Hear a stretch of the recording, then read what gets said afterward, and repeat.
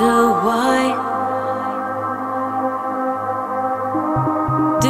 ever see in your dreams